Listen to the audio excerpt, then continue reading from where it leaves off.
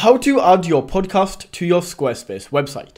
Now, this video is going to be a complete step-by-step tutorial. I'm going to show you everything that you need to know in order to add your podcast to your Squarespace website. Okay, so the first thing that you want to do is go to the first link in the description of this video. Go ahead and open that up and it will take you over to this website called Elfsight. Now, Elfsight is a fantastic tool that gives us access to widgets and different types of tools that we wouldn't usually be able to access. And this is what we are going to be using to add the podcast. Now, the awesome thing about Elfsight is the fact that you can sign up for free. So all you need to do is enter your email in right here, click on start, create your account, and then you will have access to Elfsight. Once that is done, click on widgets here at the top. This is going to take us over to the widgets and you can see all of the widgets that are available with Elfsight. So you can like try these different ones out on your website, see if there are any here that you want to add. However, we are specifically looking for podcast. So we just type in podcast into here and you can see the podcast player. Go ahead and click on this. And then as you can see, it's going to open up right here. And we have a lot of different options to choose from. I personally prefer this one. This layout I just think looks the best. But once your template is chosen, click on continue. From here, you can then add in the feed link. So in here, just add a link to your podcast. Once that is done, you can then change like the cover image. Um, you can also choose like the background image right here and all of that.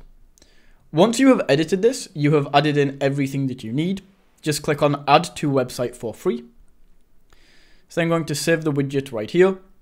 You can see a final preview of how this is going to look. And then all you need to do is click on publish. It then brings us over to this area where we can choose a plan. And the plan that you choose depends on how many monthly website views you get. So choose one of these plans. However, if you're new to this, you just want to test Elfsight out, see how it looks, you can go for the free plan. And right here, it gives us this piece of code. From here, super simple. It is literally just copy and paste. So all we need to do is copy the code, go back over to Squarespace and add this in. Now, what you need to do is just choose whereabout you want to add this. I'm going to add it to this section right here. So all we need to do is click on add block in this top left corner.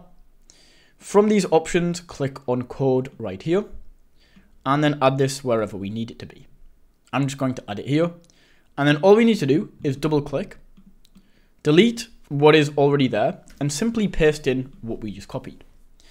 Now you might notice it says embed scripts and it has like this ugly little thing right here. Um, don't worry, this is only in the editor. As soon as we exit out and on the actual website, you can see that this isn't going to show up anymore. So if we go back into the editor, it shows up. But if we exit out of the editor, it's um it's going to disappear. There's the podcast right here. People can click play. And that is how you can add your podcast to your Squarespace website.